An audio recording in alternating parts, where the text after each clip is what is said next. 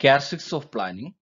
Planning means looking ahead and chalking out future courses of action to be followed. It is rightly said, well plan is half done. Planning deals with the future and involves forecasting, but mere forecasting is not a planning. Planning requires assessing the future and providing resources for it. Planning is an intellectual activity and goal oriented activity to deal with the future uncertainties. The various definitions of planning given its important characteristics under. First one, universal process. Planning is universal process. It is present in every field. At every level of management, planning is necessary. All the activities of unit have to be planned. Planning is found in all types of activities belonging to various fields like business unit, politics, education, religious field, social field, etc. Second characteristics of planning is primary function. Planning is the primary function of management.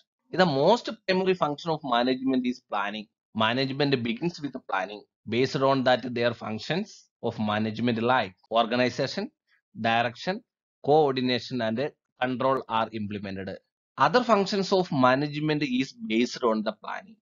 So we can call planning as the primary functions of management.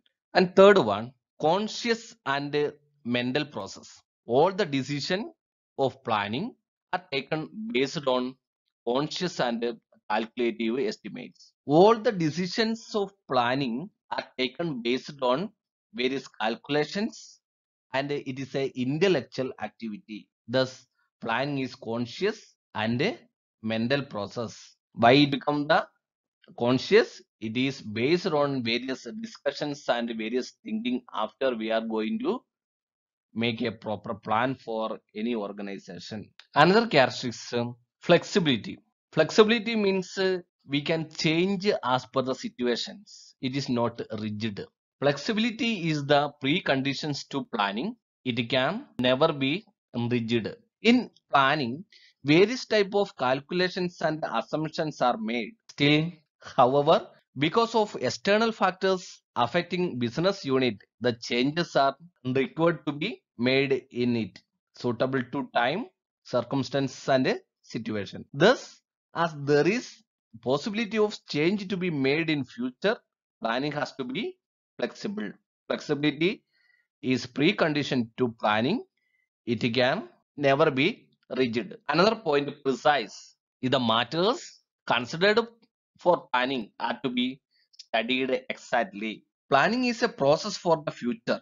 The matters considered for planning are to be studied exactly on the basis of statistical data, collected information, etc. must be perfect and precise. Planning is for future. Whatever may be considered in these matters have to be studied exactly.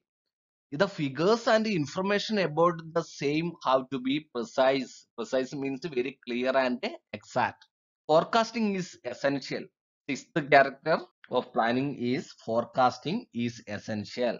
Planning is one type of predicting about the future. Forecasting is done by considering future uncertainties while making a plan for a business unit. While planning for the business unit, forecasting is made keeping into consideration about future uncertainties. Then after based on that planning is made. Hence, only Henry Fayol described forecasting and planning as the primary function of management. Seventh point, list of alternatives. Planning in any field includes various plans and alternatives. When there are various alternatives available for the achievement of objective of the unit, questions of planning arises. Different type of plans we are going to use in management process about any type of organization. In planning of any field, various type of plans or various alternatives are there. For plan of increasing sales in future, there are various alternative available like increasing advertisement, price to be reduced, to train salesmen or various attractive plans to be introduced for promoting sales out of which the best alternative is to be selected. Best and more suitable plan situation going to select for the achievement of predetermined goal of any of the field or organization. Another point it is concerned with the future. Another characteristics of planning concerned with the future. Planning is done in present and it is about the future. Now we are going to decide and after we are going to implement this. Planning presumes uncertainty involved in future. Forecasting assumptions are done later on. In short, planning is related with the future because it is evaluating future at present and accordingly making arrangement for the same. It is necessary to know about future uncertainty well in advance with planning. Then only about that uh, prior thinking or assumptions are made. In short, future to be evaluated in present and necessary arrangement to be made about the same. Thus, planning is related to future. Ninth point, it is a continuous process. Planning is a continuous and a perennial process. Perennial means permanent. Planning is that process which begins with the establishment of the organization and continues till end. As per time and circumstances, the plans are also required to be changed. Planning is a continuous and permanent process. At the time of beginning of business, planning is to be made. After making planning with changing time and different circumstances or situations, changes are to be required to be incorporated in planning. We want to adopt different sub-plans and various standing plans to achieve the organizational objective. Because of actual planning that is made in present and it is going to deal with the future. So in, in that time, as per the situations and time and different type of the problems, there is a chance to arising.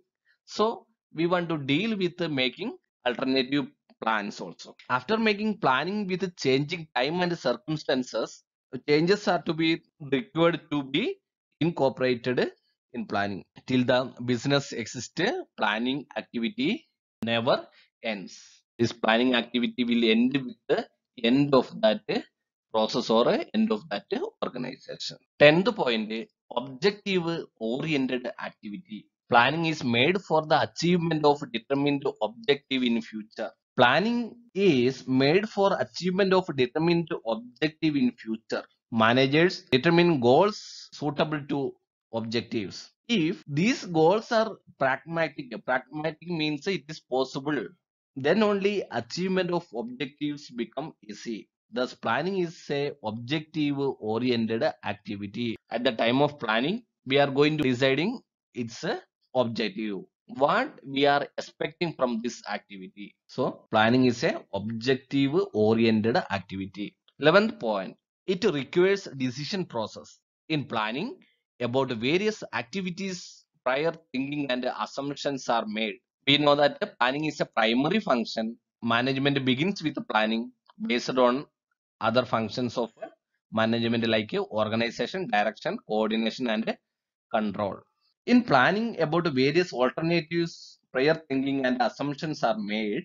Then after out of these, the best alternative is selected and appropriate decisions is taken. Thus planning in planning, decision process is uh, very important. It is based on different alternatives ways and uh, on the basis of different decisions, assumptions and uh, forecasting. These are the important characteristics uh, suggested by many managerial experts.